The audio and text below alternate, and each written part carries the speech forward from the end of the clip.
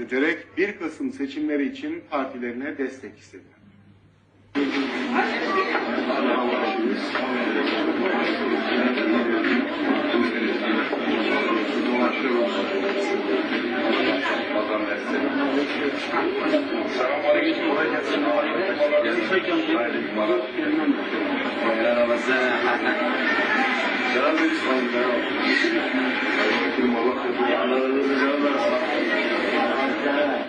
...7 Haziran seçimlerinden sonra iktidar partisi ve mecliste grubu bulunan muhalefet partileri tarafından siyasi menfaat uğruna bilinçli bir şekilde ülkede kaos ortamı yaratılarak ülkemizde can ve mal güvenliği kalmayıp uyku imparatorluğu yaratılarak ülkeyi iç savaşa sürükleme pahasına kardeş kavgasının körüklendiği bir ortamda Türkiye'nin kaderini belirleyecek dayatma bir seçime gidiyoruz.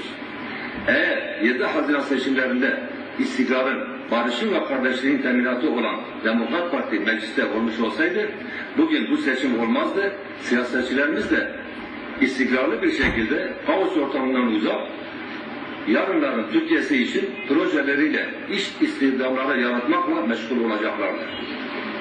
Çünkü terörün bitmesi ve istikrarın yeniden ülkeye hakim olmasındaki en büyük engel işsizliktir.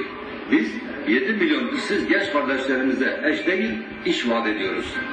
Geçmişte yaptığımız gibi yeniden doğusuyla, batısıyla Türkiye'nin her köşesine iş istihdamları yaratarak gençlerimizin ve iş adamlarımızın önünü açacak şekilde yatırımlar yaparak ülkenin kalkınmasına yardımcı olacak şekilde tüketen değil, üreten bir pozisyona geçerek ülkeyi istikrara kavuşturacağız. Türkiye'nin kaderi barajı aşamaz algısı yaratılan merkez sağın tek temsilcisi olan Demokrat Parti'nin iktidarıyla değişecektir.